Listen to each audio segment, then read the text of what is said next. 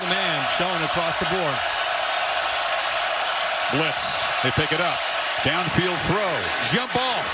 Catch made.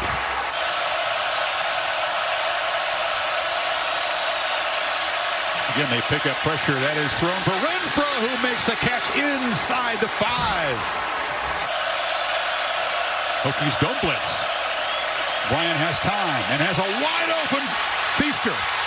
Feaster racing to the end zone. They forgot about the tailback, and he makes him pay. 60 yards. And Clemson stretches the lead. They feed the fake to Etienne. Bryant keeps it on the edge, and Kelly Bryant spun around. It's almost all of the 20 yards on what will be the final play of the first quarter. Tavien Feaster scored the touchdown earlier on the reception back in the game, but Bryant's keeping it. And he's just able to navigate to the edge and spins free. What a running quarterback this guy is.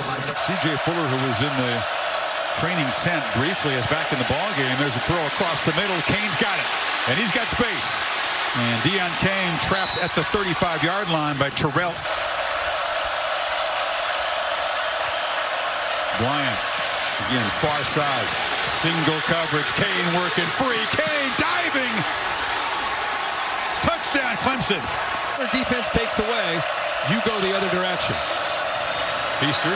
No, they fake it to him. Bryant converts the third down and a lot more still rumbling down inside the 10.